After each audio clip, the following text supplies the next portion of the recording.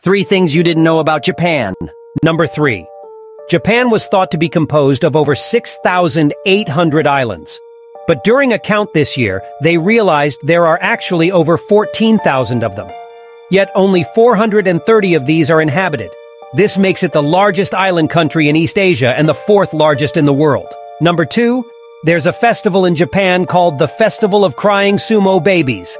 This traditional competition celebrates the baby who cries the loudest, and sumo wrestlers compete to see who can make a baby cry first, often using demon masks. The festival is believed to bring good health to children and ward off evil spirits.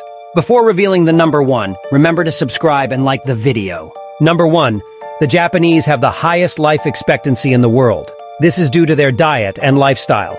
They are very health-conscious people who regularly engage in physical activity.